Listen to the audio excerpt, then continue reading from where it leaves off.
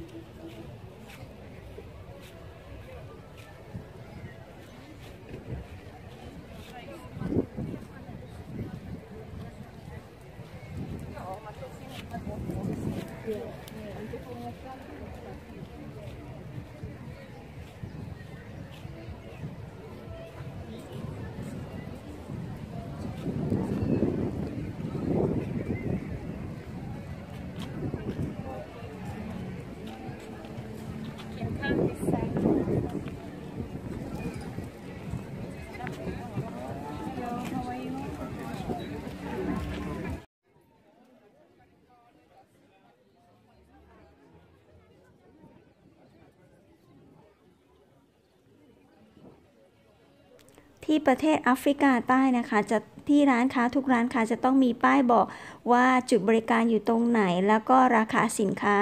เป็นเท่าไหร่นะคะ ทุกร้านจะต้องปฏิบัติเหมือนกันค่ะ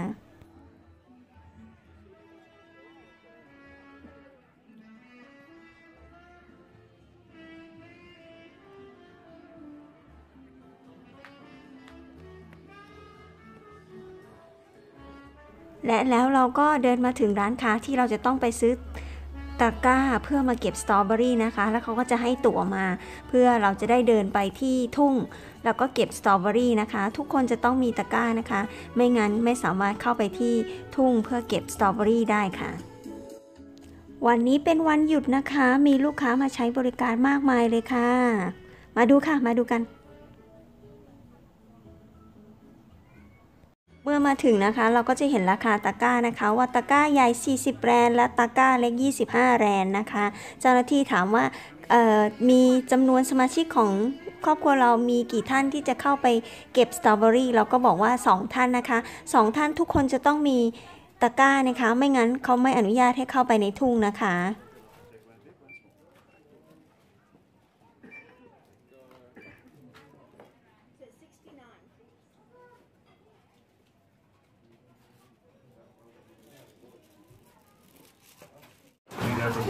You go to if you go you go down at the fountain, you go through the market and you give the tickets to the lady at the fence and she'll let you in. Right the bottom. Yeah.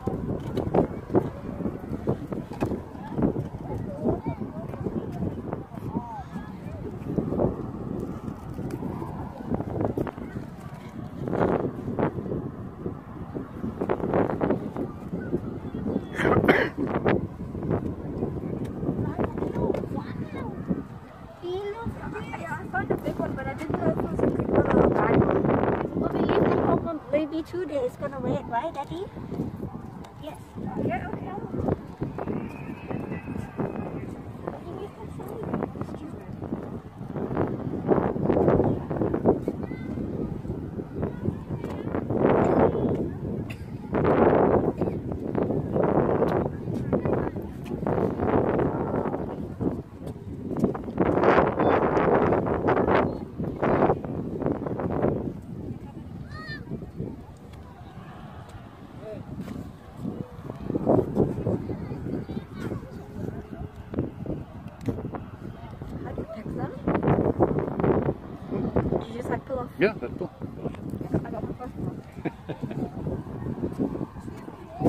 Big ones.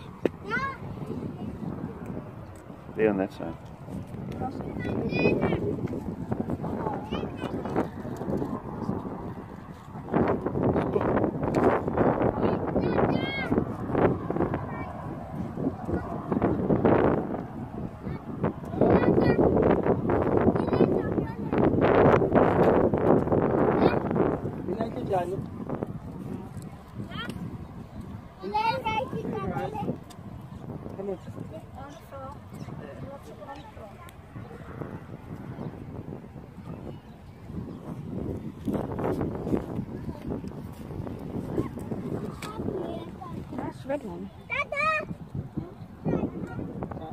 takip ediyoruz.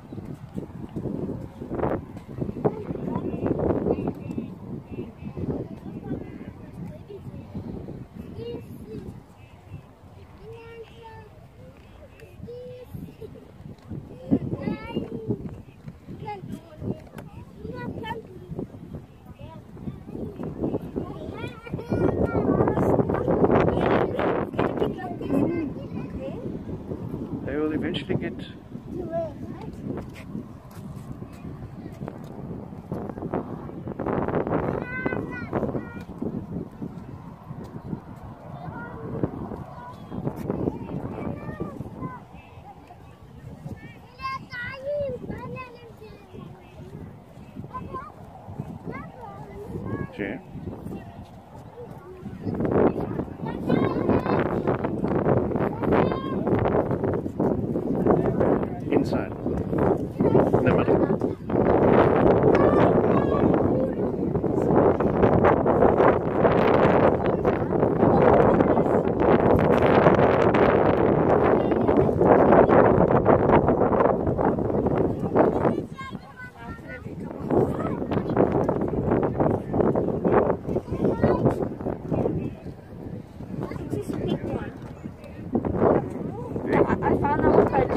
know if it was a big one or not.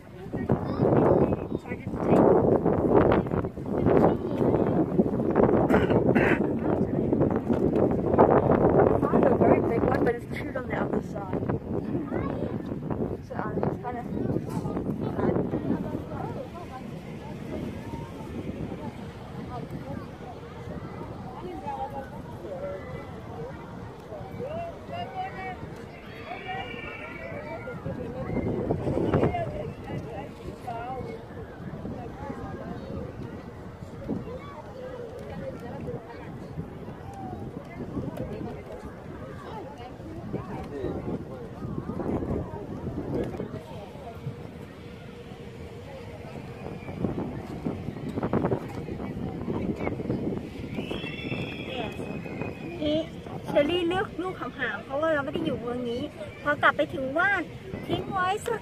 วันหรือวันครึ่งมันก็จะแดงอะค่ะมาค่ะไปดูอย่างอื่นกันเลยค่ะ